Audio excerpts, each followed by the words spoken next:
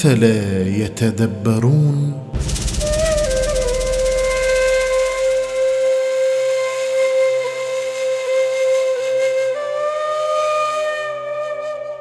مختارات من وحي القرآن لما فيه سعادة الإنسان مع الشيخ الدكتور عبد الله سلقيني.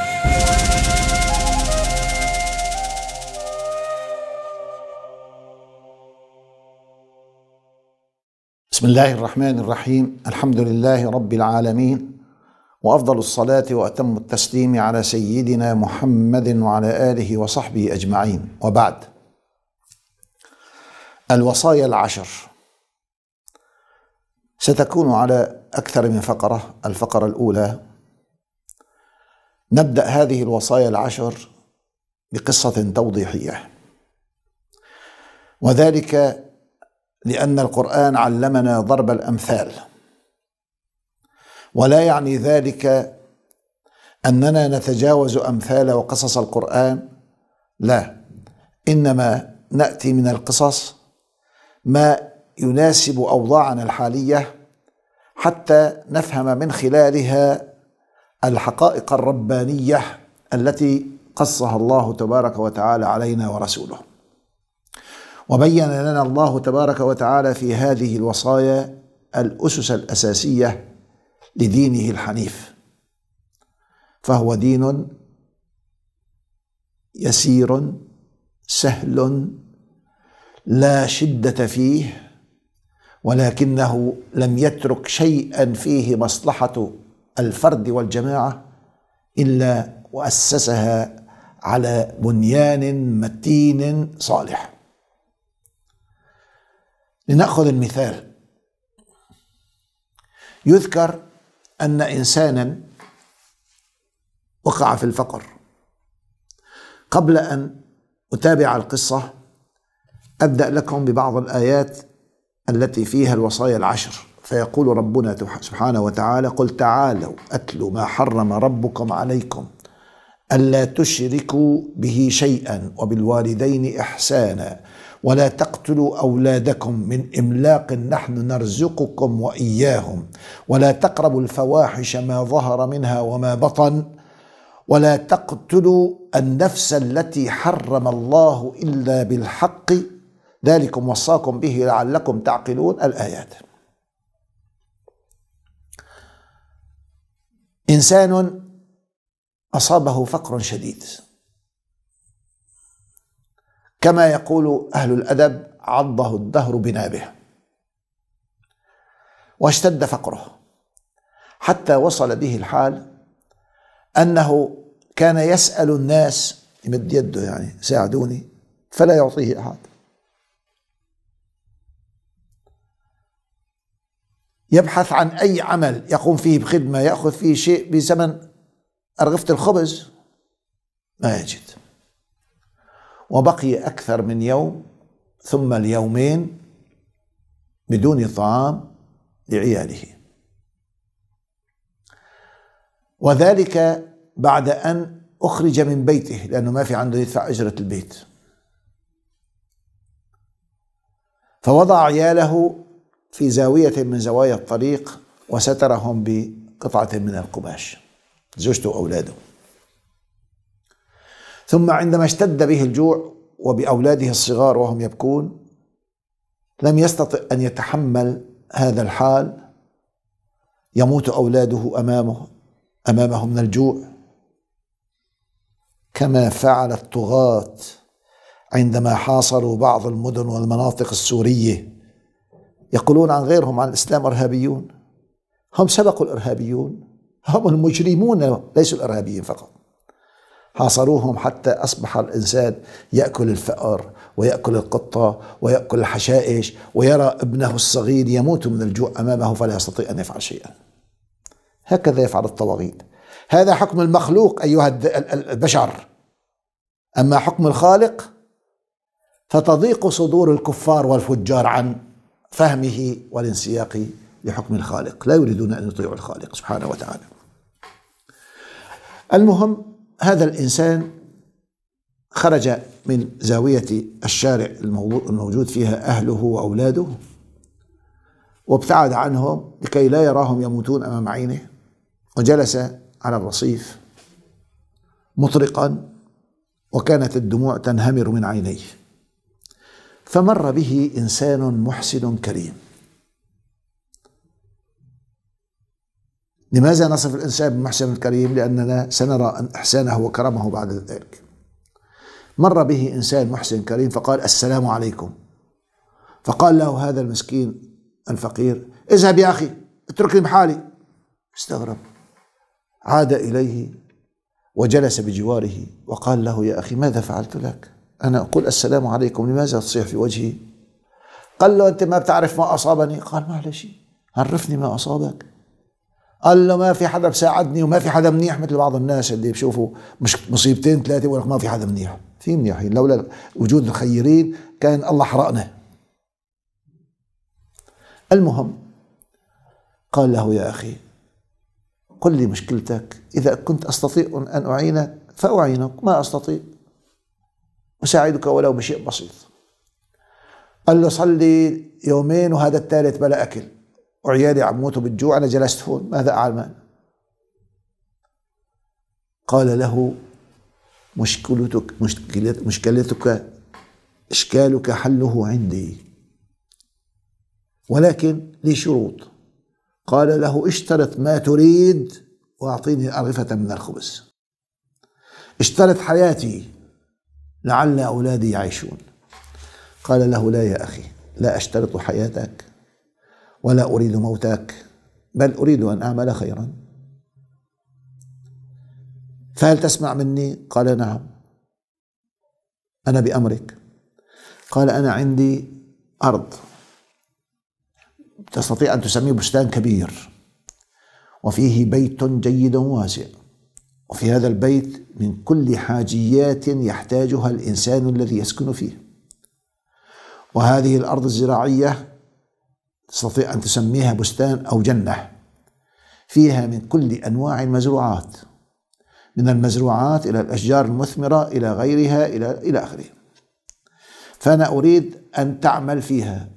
قال له أبوس إيدك شغلني. قال لا أنت بتستلم الأرض وتنفذ الشروط. قال له مستعد. قال اركب في سيارتي. هات عيالك. جابوا من الشارع ركبوا في السيارة. طار عقلهم. اشترى لهم كيلو خبز ياكلوه على الماشي. حموتوا من الجوع. وشربوا معه ماء. وانطلق بهم بسيارته إلى طرف من أطراف المدينة.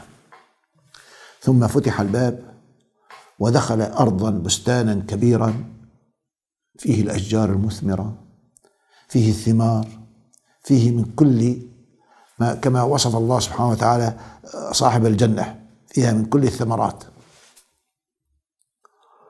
وفي منطقة للأبقار اللي بده يستفيدوا من اللبن ومن هذا وفي منطقة للزراعة والقمح وفي مخزن وفي دخلوا على البيت وإذا به فيه كل شيء حتى الثلاجة.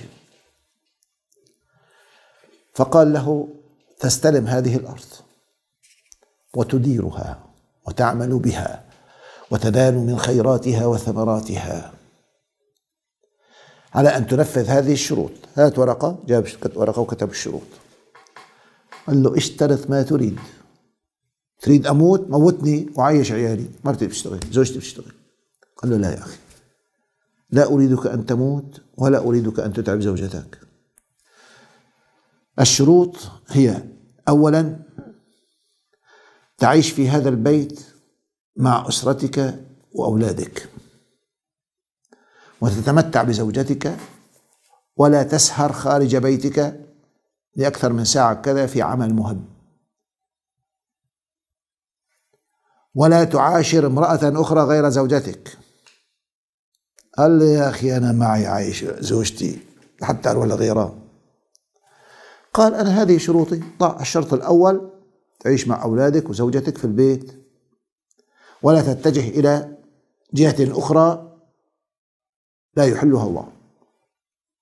قال هذا الشرط لمصلحتي ما هو شرط لك قال معليش هذا شرطي. الشرط الثاني لا تأكل مال حرام. ما تغتصب أموال الناس ولا كذا ولا كذا. قال له أنا ما بس تغتصب شيء. المهم الشرط الثالث فلان وفلان وفلان هم من شياطين الإنس. قد يمدحوك. وقد يغروك من أجل أن يستفيدوا منك. فيسخروك للحرام. فتترك بيتك وتتبع طريق الحرام. هؤلاء أعدائي وأعداؤك. فابتعد عنهم بقدر ما تستطيع. إن استطعت أن إذا مريت بطريق كانوا فيه تروح طريق آخر. قال له أبدا هذا شرط من أجلي. الشرط الثالث ما تشرب الخمر. الشرط الرابع كذا وكذا. عدد عليه أشياء كلها لمصلحته ومصلحة أسرته. الشرط السادس السابع أن تعلم أبنائك وتصرف عليهم. تبعتهم المدرسة تعطيهم مصروف حتى يتعلموا ويصيروا أشخاص. له يا أخي هذا مشان مصلحة أولادي إيش هالشرط؟ قال له هذه شروطي أنا. بعد ما أنهى شروطه قال له كم أجرتي؟ شو بدك تعطيني أجرة أشتغل؟ قال كل ما تنتجه هذه الأرض هو لك. إن زاد معك شيء عن مصروفك الطبيعي اللي بيصرف منه الإنسان كأنه مالك للأرض إن زاد شيء تعطيني إياه وإن لم يزيد لا أريد شيئا. قال يا أخي أنت يعني ملكت الأرض؟ قال نعم أنا أريدك أن تشتغل وتستفيد. الشرط الآخر وهو المهم انتبه. إن نفذت هذه التعليمات فتبقى في الأرض حيث تشاء. وإن خالفتها اتبعت هؤلاء الأعداء وأطعتهم شربت الخمر تروح تسهر برا مع راقصة وتترك زوجتك في البيت. إن خلفت خالفت هذه التعليمات تخرج من البيت والمكان الذي أنت فيه كما دخلت. دخلت لا تملك قرش تطلع لا تملك قرش. هتقول صار عندي مال وسيارة لا أبدا. تخرج كما دخلت. إلى الجحيم. قال له مستحيل. ليش أنا ما في عندي عقل ممكن أخالف مصلحتي؟ مستحيل أخالف مصلحتي. قال له إيه؟ طيب. وقع شهود وقع. قال له خالفت التعليمات تطرد بدون قضاء. رأسا. هذا اتفاق بيناتنا. بيجي الشرطة بشيلوك لبرا. أنت وعيالك. قال له مستعد. تركه في البيت ومشي. صار يفتح عيونه. يقول لزوجته هون عم ياكلوا من الثمار من المشمش من التفاح من كذا. قال له هل نحن متنا ودخلنا الجنة؟ ماذا جرى؟ معقول في ناس فيها الطيب فيها الخيرية فيها الكذا؟ قال له والله الله سبحانه وتعالى بعثه عاشوا في حياة سعيدة وهنيئة. سجل أولاده في المدارس وكل ما يشوف الأشخاص الفاسدين يبتعد عنهم. إذا سلموا عليه يقول له وعليكم وتم ماشي. كل ما يجلس يأكل في هذا البستان العظيم يتذكر ويذكر أولاده وزوجته. ما شاء الله يا بنت الحلال إيش هذا الرجال طيب لولا أن الله أرسله لنا وحنن قلبه علينا كنا الآن حطونا نحن أولادنا في القبور. تقول له إيه والله. كل ما يأكلوا أكل يتذكروا. كل ما يعملوا خير يتذكروا. كل ما يفلحوا كل ما يشتغلوا في الأرض يتذكروا. وهكذا حال المؤمن الذي فطرته تدله على الله الخالق. فكلما أكل من ثمار هذه الأرض تذكر الله الذي سخر له السماوات والأرض. كلما أكل لحما تذكر الله أنه خلق له الأنعام والأنعام خلقها لكم فيها دفء. كلما شرب ماء تذكر أن الله هو الذي قطر له الماء من مياه البحار وأمطرها عليه ثم نزلت في الأرض خزانات وخرجت ينابيع هذا هو حال المؤمن أيها الإخوة. ولكن ماذا يجري إذا انحرف المؤمن وأطاع شيطان الإنس والجن؟ كما يجري مع هذا الإنسان. بعد فترة من الزمن كان إذا رأى صاحب الأرض من بعيد يسرع إليه ويسلم عليه من قلبه. هو مسرور فرحان. هو سبب نعمته. هو أصل نعمته. هو أصل حياته. مرت الأيام. غني الإنسان. هذا الشخص صار عنده مال. استسمح صاحب الأرض يشتري سيارة. قال له إيش عليه؟ هي حاجيات أصلية توصل أولادك على المدرسة اشتري ما زاد عندك هالسنة شيء بلا. اشترى سيارة وصار كابر. إن الإنسان لا يطغى أن رآه استغنى. صار يتقرب منه بعد ما ظهرت عليه الأموال والخيارات يتقرب منه هذول شياطين الإنس والجن اللي قال له لا تمشي معهم ولا تسمع منهم. فصاروا يتقربون منه. أهلين أبو فلان والله أنت ما في منك ما شاء الله.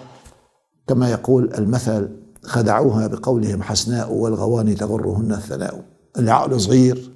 بقول له ما شاء الله عليك أنت ما في أذكى منك ولا في بصدق ما في أذكى منه. لا يا أخي في أذكياء وفي أغبياء في الكون. أما ما في أذكى منه؟ لا. مثل ما قالوا له لبشار الأسد في المجلس النيابي أنت بدك تحكم لازم تحكم العالم كله. إيه خليه ياخذوا يحكموا خي رسول تنحل المشكلة كلها. شوف هالجهل. وبصدقوا كمان الجهلة المجانين بصدقوا لما بقول له آه، يعني أنت ما في افهم منك كذا؟ بصدق إنه ما في افهم منه. فشيئا فشيء صار يطمئن إلى هؤلاء اللي قال له لا تمشي معهم. ويبدأ يعني ينفر قلبه من ذاك. ليش ينفر قلبه من المحسن؟ لأنه بدأ ينحرف.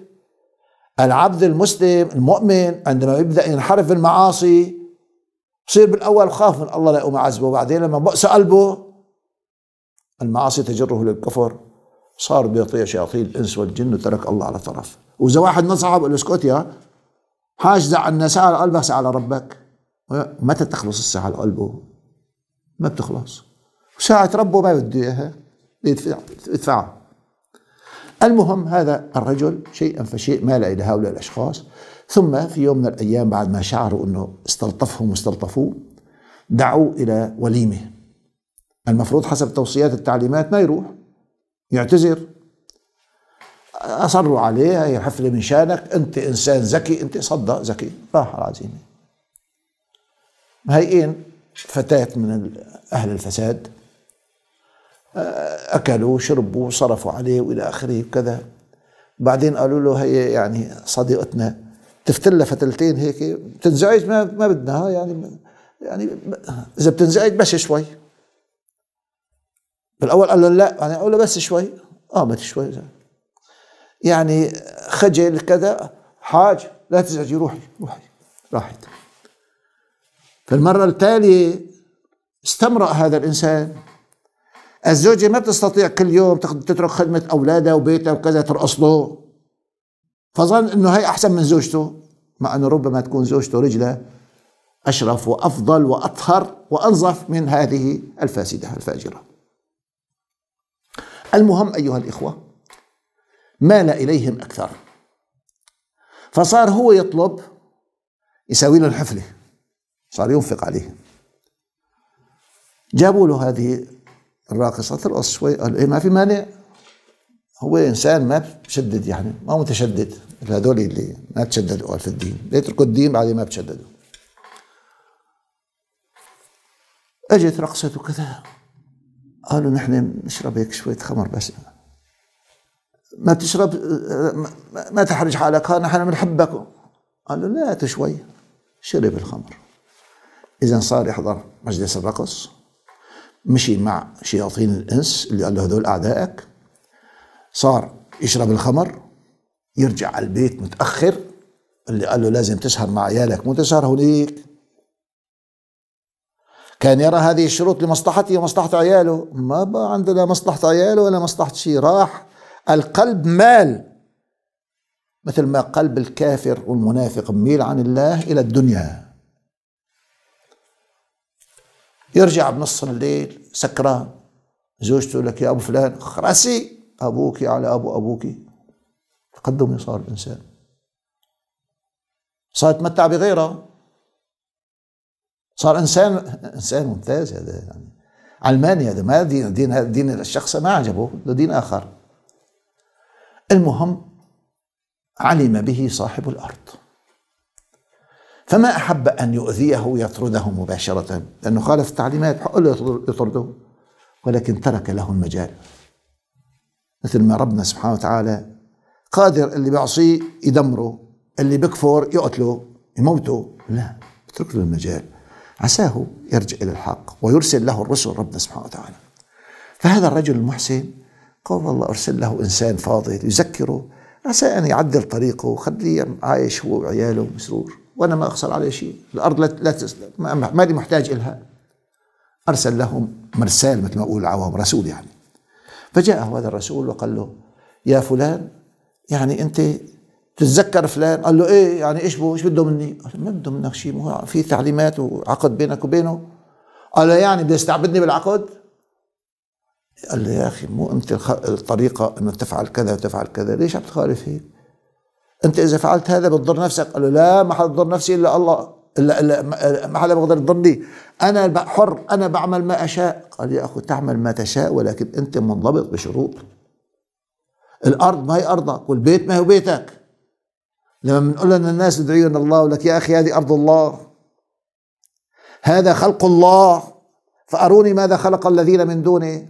هذا الله أخرجتكم إياه مما تنبت الأرض. الله خلق الأنعام ترعى في الأرض وخلق لها ما تأكل حتى تأكل أنت يا إنسان وتتغذى. لماذا تهرب من ربك وتذهب إلى الشيطان؟ شيطان الإنس والجن وتطيعه.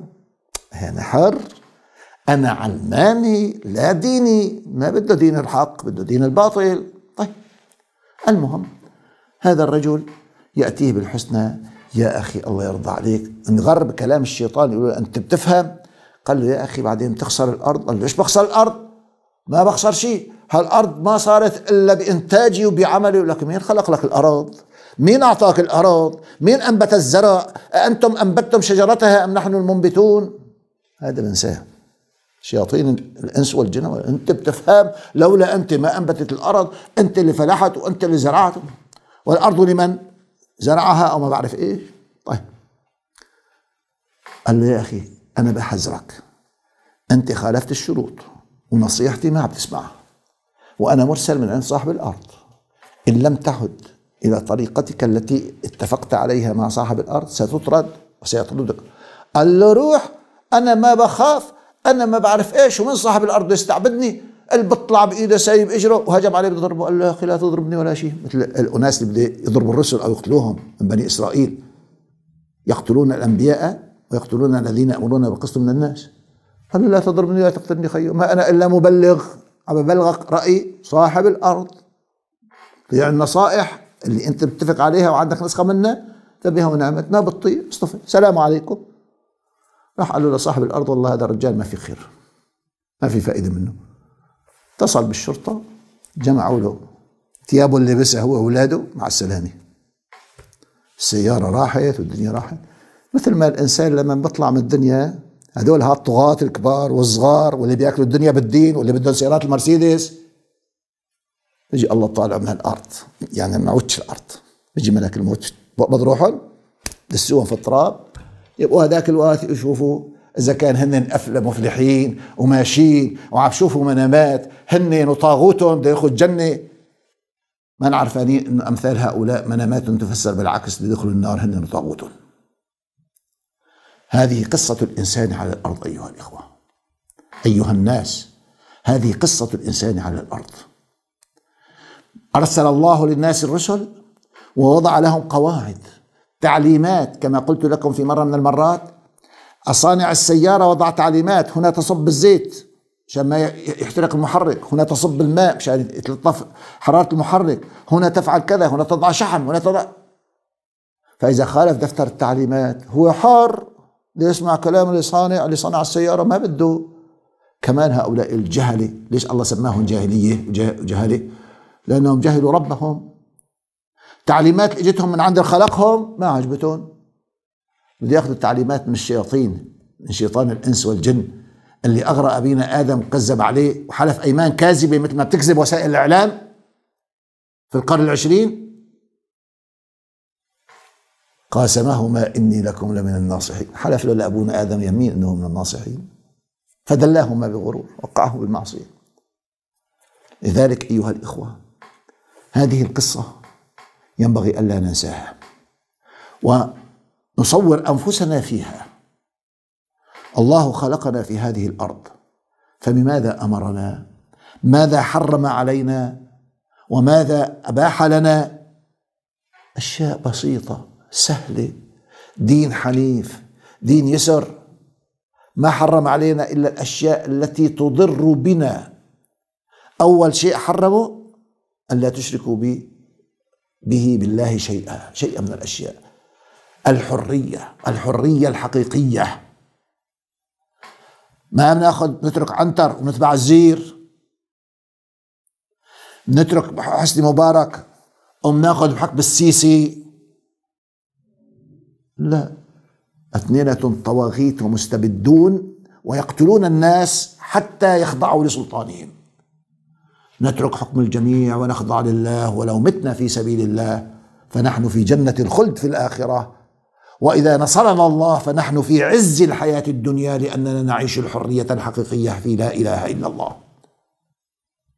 ونبدأ في تفسير الآيات بعد هذا المثل في المستقبل إن شاء الله. والحمد لله رب العالمين.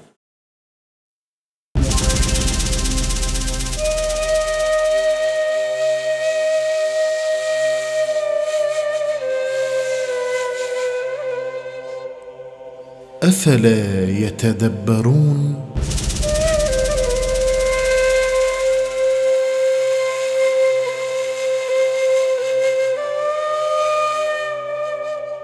مختارات من وحي القرآن لما فيه سعادة الإنسان مع الشيخ الدكتور عبد الله سلقيني.